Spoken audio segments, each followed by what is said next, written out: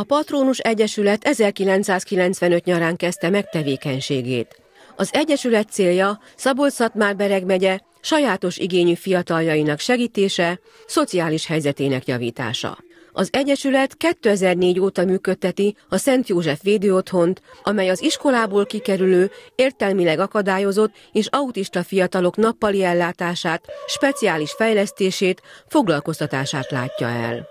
Az Egyesület vezetői gyakran szerveznek jótékonysági rendezvényeket, ezzel is támogatva az Egyesület rászoruló tagjait. 2004-ben volt már vendégük Pitti Katalin operaénekesnő, aki az idén ismét örömmel tett eleget a felkérésnek.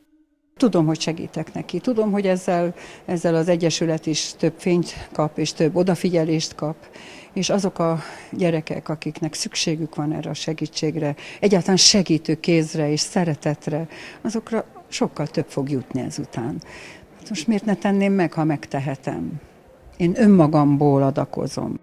A korábbi koncert bevételéből és pályázati forrásokból gyertyaöntő műhelyt alakította ki a védőotthonban. A program azt a célt szolgálja, hogy segítse a fiatalok elhelyezkedését a nyílt munkaerőpiacon. Ezzel a programmal az Egyesület megteremtette az intézményi jogviszony keretében történő foglalkoztatás tárgyi és személyi feltételeit. A mostani rendezvény bevétele a lakóotthonban élők körülményeinek javítását szolgálja, az épület pincéjében található gyógytornatermet szeretnék felújítani. Az Egyesület 20 éves, és ezt szerettük volna méltóképpen megünnepelni, és ugye a, elég későn kezdtem hozzá a szervezéshez, és Pitti Katalin tényleg 10 éve ismerem, akkor volt itt először, és ő első szóra elvállalta.